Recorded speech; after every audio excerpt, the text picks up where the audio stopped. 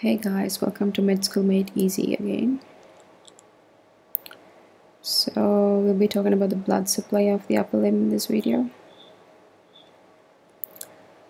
So we will have a look at uh, the brachial artery, the radial artery, and the ulnar artery under the arterial supply, as well as the venous uh, drainage from the dorsal venous arch, uh, the cephalic vein, uh, the basilic vein, and the medial uh, median cubital vein. And we'll also have a look at the origin the cause and the branches of the arteries. So first up at the brachial artery.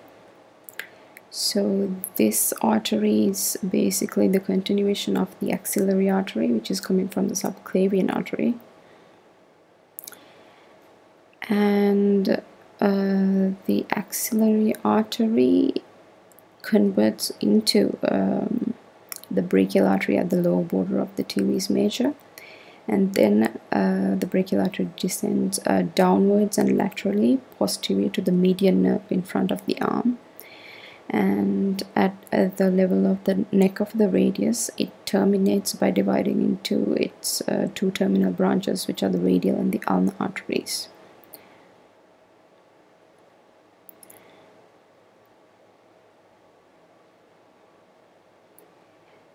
and uh, the branches of this artery are the muscular branches namely uh, the profunda brachii artery the superior ulnar collateral artery and a nutrient artery and uh, the inferior ulnar collateral artery and uh, the radial and the ulnar artery. And also there are several anastomoses around the elbow joint coming from this artery uh, one in front of the lateral epicondyle and one behind the lateral epicondyle and uh, the others in front and behind the medial epicondyle. And now moving on to the radial artery. So this artery is the small terminal branch of the brachial artery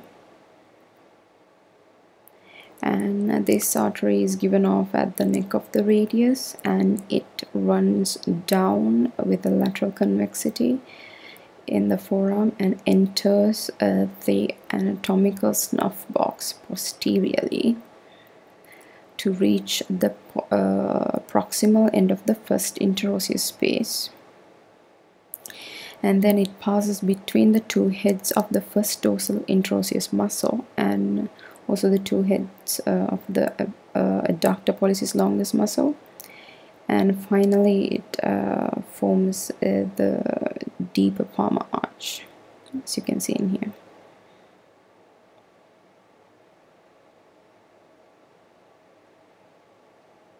So that is the course of the radial artery. And um, looking at the branches we have uh, the radial recurrent artery and a few muscular branches and palmar-carpal branch and the dorsal carpal branch and the superficial palmar branch.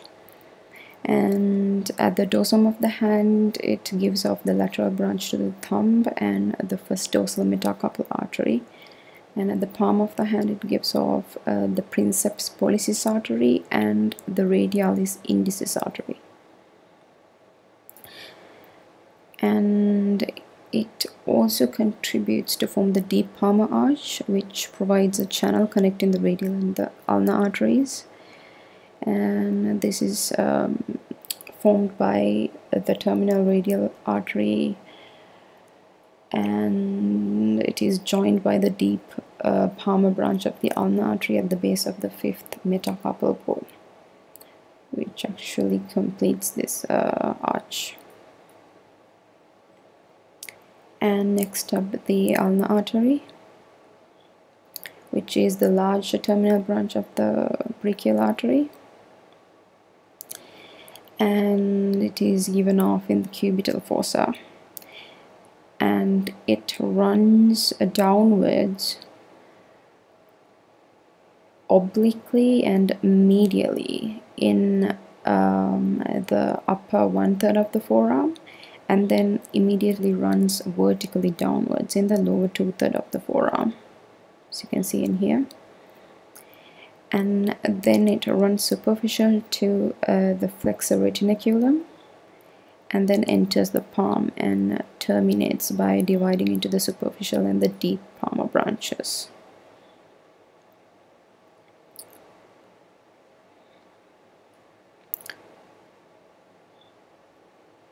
So the branches of this artery are the superficial palmar branch, which uh, forms the superficial palmar arch, which is another channel between uh, the ulna and the radial arteries, which joins with the superficial palmar branch of the ulnar artery. Uh, branch of the radial artery actually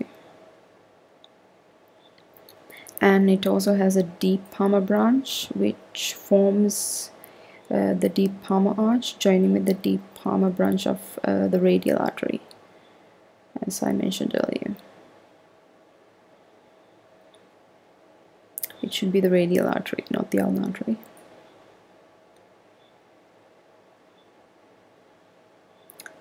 And moving on to the venous drainage of the upper limb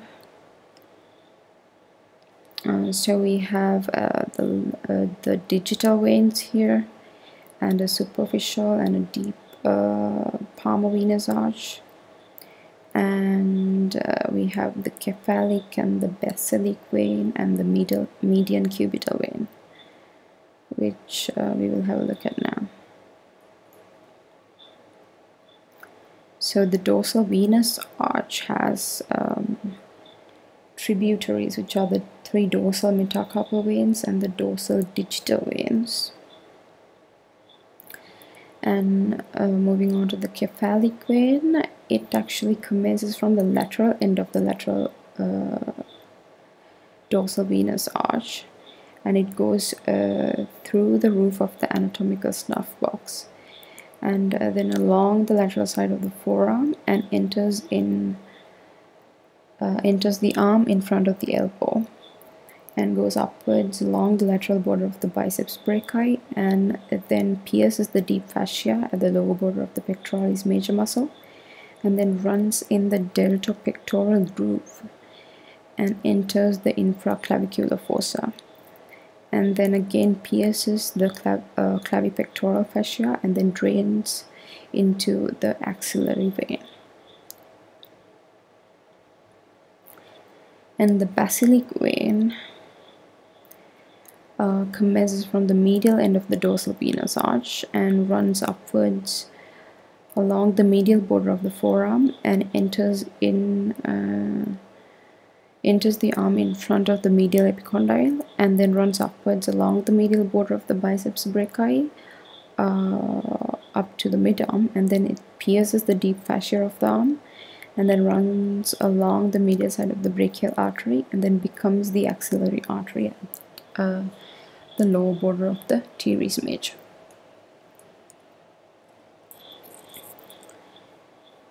So that's about uh, the blood supply of the upper limb. And thank you for watching.